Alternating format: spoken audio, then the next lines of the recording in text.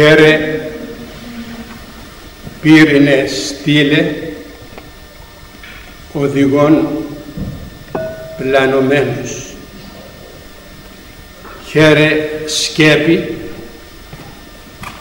πλατητέρα των ουρανών νεφέλη ολόφωτε. Αδερφοί μου, φτάσαμε με τη χάρη του Θεού μας και τις πρεσβείες της επερευλογημένης του στο τέλος σχεδόν της Μεγάλης Τεσσαρακοστής. Σήμερα ανοιξιώθημε να ακούσουμε όλους τους χαιρετισμούς της Πανηγίας μας και παίρνουμε από την έκτη οδή των χαιρετισμών την αρχή του κηρύγματος την οποία είπαμε «Χαίρε πύρινε στήλε οδηγών πλανωμένους». Πύρινος στήλος. Από πού ο ημεροδός της Εκκλησίας μας έλαβε αφορμή να απευθύνει προς την Παναγία μας ότι είναι πύρινος στήλος που φωτίζει τους πλανωμένους λέει. Φωτίζει εκείνους οι οποίοι πλανώνται. Πλάνη, φοβερά αμαρτία αυτή. Γι' αυτό ο Κύριος μας μας είπε ότι προσέχετε μη πλανηθείτε και δεν ομιλεί πολλά λόγια ο Θεός. Δεν ομιλεί όπως ομιλούμε εμείς οι άνθρωποι, πολλά λόγια για να εισακουστούμε. Ο Θεός λέγει μονολεκτικά το θέλημά Του. Προσέχετε λέγει μη πλανηθείτε. Αλλά ας δούμε από πού η Παναγία μας έλαβε αυτό το όνομα ότι είναι πύρινος στήλος που φωτίζει τους πλανωμένους. Θα μεταβούμε πίσω αδερφοί μου στους Εβραίους οι οποίοι ήσαν υπόδουλοι στον Φαραώ. Τους ελευθέρωσε ο Θεός δια υπέρ θαυμαστών τρόπων που δεν υπάρχει σήμερα ίνιξαν την θάλασσα και διήλθαν λέγει εξ αυτής δύο περίπου εκατομμύρια άνθρωποι χωρίς να βραχεί το πόδι τους καθόλου.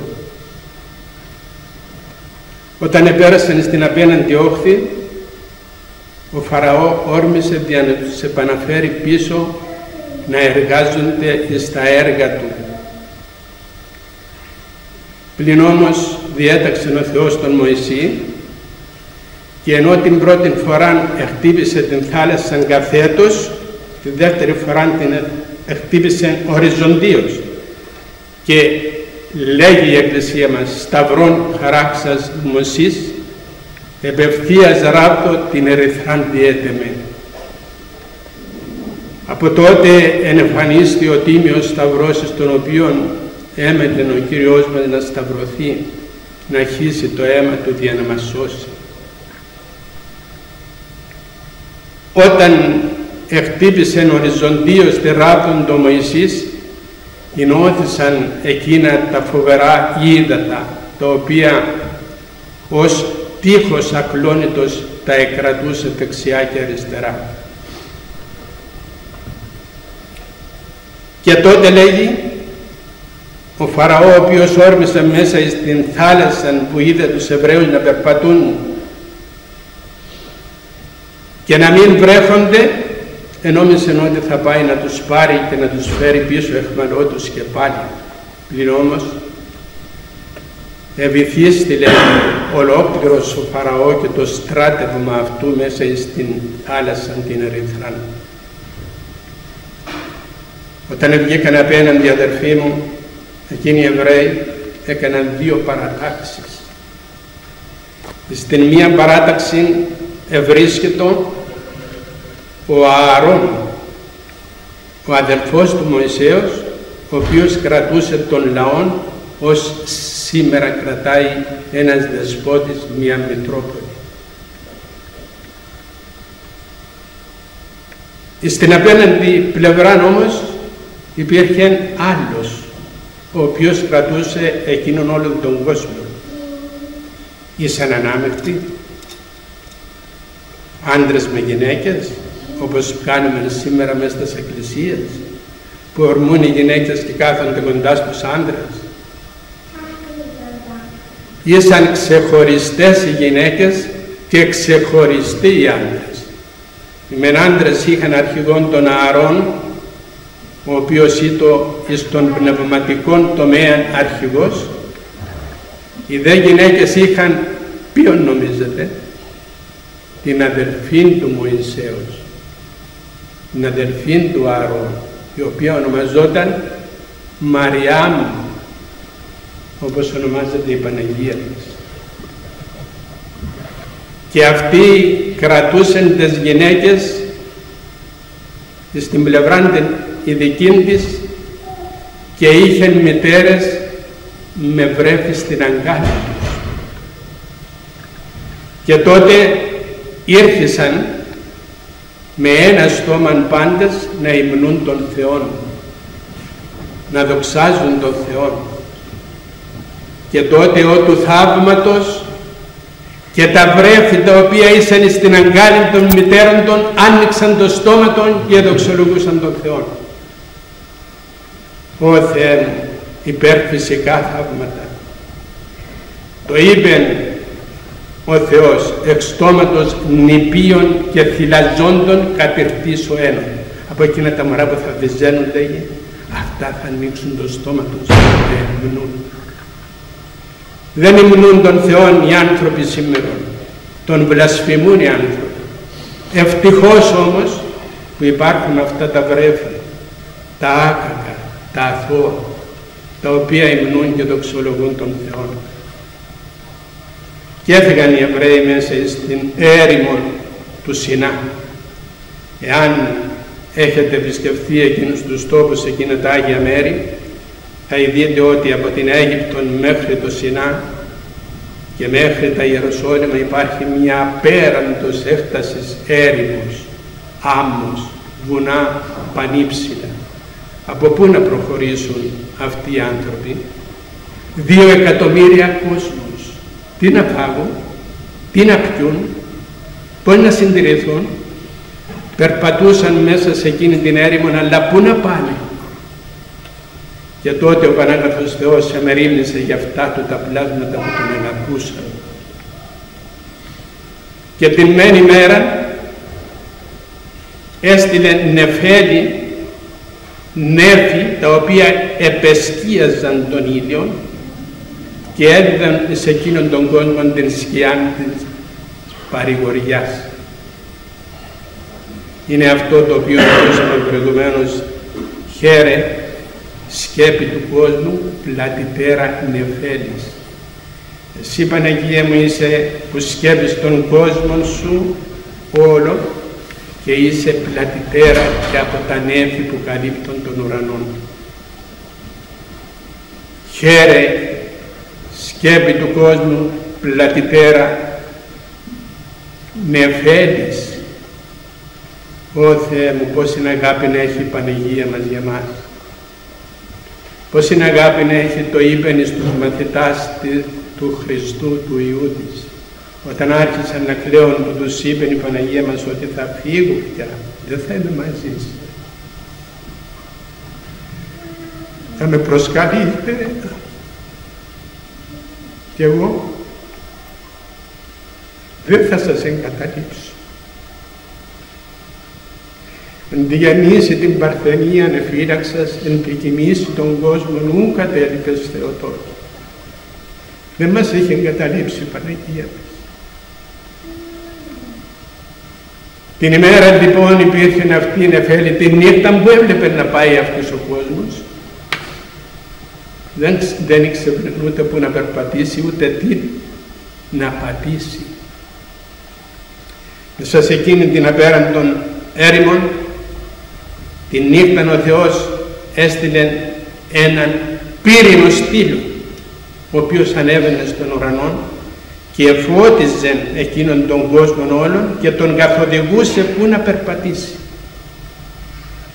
Χαίρε πύρινε στήλε οδηγό, οδηγός πλανωμένο. Εσύ πύρινε πύριε, πύρινε στήλε, πύρινε και ολόφωτε που φωτίζεις τους πλανωμένους, εσύ είσαι η Παναγία μας. Πόσοι πλανωμένοι, πλανεμένοι άνθρωποι υπάρχουν σήμερα. Ο ένας πλανάται εις τις μαγείες για να έβρει λύτρωση. Και έχω να σας αναγγείλω ότι εδώ υπάρχει ένα μέρος που είναι κοιτίδα της μαγείας. Είναι αυτό το μέρος που ονομάζεται πύργος. Εκεί στον πύργο υπάρχουν χιλιάδες μάγοι. Δεν γίνεται τίποτε άλλο μη μόνο για μαγείας. Θέλει να εκδικηθεί ο ένας τον άλλον, το κάνει μαγείας. Θέλει να απαλλαχτεί από αυτόν, το κάνει μαγείας. Άρα είναι ότι ζουν μέσα εκεί σε αυτήν την πόλη οι τσιγκάνοι αυτοί οι οποίοι δεν έχουν ούτε φόβον Θεού ούτε τους νοιάζει προσπαθούν με κάθε τρόπο να βρουν χρήματα και καταφεύγουν στις μαγείες. Αδερφοί μου, στην ζωή μου μου έτυχε πολλοί κόσμος να έρχεται στον Άγιο Γεώργιο και να ζητεί έλεος από τον Θεό περισσότερος κόσμος ερχόταν από αυτήν την πόλη που λέγεται Πύργος. Αποτέλεσμα. Εξ αυτού υπάρχουν και φοβεροί σεισμοί. Δεν είναι μόνο τούτο. Έχουμε και στην Παλαιά Διαθήκη πόλη η οποία ήταν τριών ημερών πορεία. Ονομαζόταν Νινεβή. Αυτοί εξέκλειναν από τον Θεό των αληθινών και έπεσαν στα είδωλα, στις μαγείες, όπως κάναμε εμείς σήμερα. Και τότε ο Πανάγαθος Θεός θέλησε να την εξαφανίσει την πόλη αυτήν, δεν αντέχει την μαγεία ο Θεός. Και έστειλε τον Ιωνάντη να κηρύξει μετάνοια και μετενόησε αυτός ο κόσμος. Μετενόησε, αλλά πώς μετενόησε. Όπως μετενοούμε εμείς οι άνθρωποι. Μετενόησαν ειλικρινά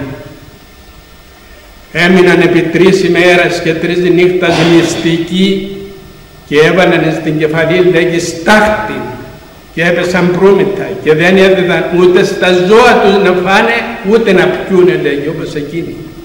Και τότε σπλαχνίστη ο Θεός και τους έδωκε την χάρη του. Πλην όμως πάλι εξέκλειναν και εξαφανίστησαν. Είναι αυτό το οποίο λέγει ο Θεός σώζον σώζε την σε αυτού ψυχήν. Μην επιστρέψεις στα οπίσω. Εργάστε τη και σώθη τη. Όταν εξομολογηθείς και ζητήσεις από τον Θεό το έλεος μη στραφείς πίσω στις αμαρτίες σου τις οποίες έκανες προ Χριστού.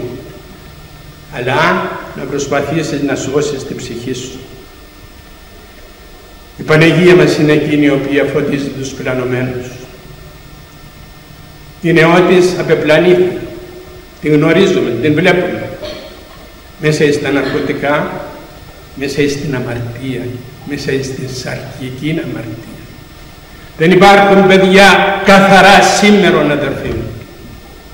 Η μάνα και ο πατέρας οθούν τα τέκνα των στην πορνεία μήπως και γίνουν καθυστερημένα. Και τότε τα βλέπουμε και κλαίουμε. Γεμίζουν τα νοσοκομεία και τα άσυλα με νέα παιδιά. Είπεν τελευταίος ο Σεβασμιότατος Θεσσαλονίκης Άνθιμος ότι πάσα πράξης εκτός του μυστηρίου του γάμου είναι πορνεία και αναστατώθησαν οι πάντες. Ανασταθώσαν οι δημοσιογραφείς και έφαγαν τους τόπους να μας πει πόρνο σε εμάς. Τι να σου πούμε κύριε; Θέλει να σου πούμε ότι είσαι Άγιος ή ότι κάνεις ελεημοσύνη. Τι θέλει να σου πει. Είσαι πόρνος. Το λέει η Αγία Γραφή αυτό. Διέβασε στην προς Ρωμαίους επιστολής το πρώτο κεφάλαιο από τον 15ο στίχο και μετά δια να ειδήσει ο Πανάγαθος Θεός ότι εγκατέλειψε τον άνθρωπο και έπεσαν λέγει στην πορνεία, έπεσαν στην ακαθαρσία, έπεσαν στη βρωμιά, έπεσαν μέσα στα πάθη τους λέει. Εγκατέλειψε ο Θεός τον άνθρωπο. Ναι αδερφοί. Χαίρε, πύρινε, στείλε οδηγών πλανωμένους. Χαίρε, σκέπη του κόσμου, πλάτη πέραν ευθέλης. Σκέπασε μας Παναγία μου, λυπήσου μας Παναγία μου, λυπήσου τον κόσμο σου. Μας λυπάται η Παναγία μας. Το απέδειξε. Πλην όμως η πληρωμή της δεν είναι τίποτε άλλο ή μόνον μικρή και μεγάλη. Νέοι και νέες, γέροι και γέροντες να βλασφημούν το όνομα της Παναγίας. Γιατί βλασφημείς το όνομα της Παναγίας. Ε, το έμαθα λέει. Δεν το έμαθες, δάκασε τη γλώσσα σου να γεμίσει αίμα να το αν το έμαθες. Τι θα πει το έμαθες. Ποιο βλασφημείς, ξέρεις ποιο βλασφημείς; Εκείνη η οποία όταν ήταν ο πόλεμος με τους Γερμανούς και τους Ιταλούς έτρεχαν γονατιστοί μες στις εκκλησίες και άναβαν λαμπάδες ίσα με το ανάστημά τους. Να δούλεγε των νέων των ιών των νέων των άντρων να επιστρέψει πίσω να έβρει πάλι το σπίτι του. Και έτρεξε η Παναγία μας. Και φανερώθηκε η Παναγία μας. Και βοήθησε η Παναγία μας. Και ενίκησαν οι ολίγοι τους πολλούς αλλά πάλι να επανήλθαμε πίσω όπως οι Εβραίοι. Και το αποτέλεσμα ποιο είναι; Το αποτέλεσμα είναι να θρυνούμε. Διότι μας τρώει η πλάνη της μόδας. Αχ Θεοκατάρατη μόδα τι κάνεις εσύ; Πως παρασύρεις τον άνθρωπο πως παρασύρεις τον κόσμο ολόκληρον ολόκληρον την οικουμένη από άκρου εις άκρον της γης. Είπεν η Θεοκατάρατος μόδα να φορέσουν οι γυναίκες τα ρούχα του ανδρός και βλέπεις μες στους δρόμους όχι καρνάβαλο, όχι κάτι το οποίο είναι συχαμερό, κάτι πιο χειρότερο. Γιατί δεν μπορεί η γυναίκα να δει πίσω της τι είναι. Βλέπει μπροστά, τα μάτια της είναι μπρος και προς τον ουρανό. Εάν έβλεπε πίσω της η γυναίκα όταν φορεί τα ρούχα του ανδρός τι είναι, δεν θα τα φορούσε ποτέ. Πλην όμως νομίζει ότι με αυτά θα προκαλέσει στην αμαρτία.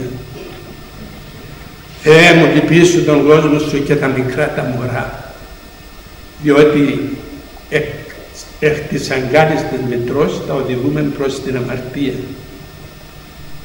Φοράει, αν φορέσει η μητέρα μία φούστα, φοράει στο κοριτσάκι της ένα παντελόνι.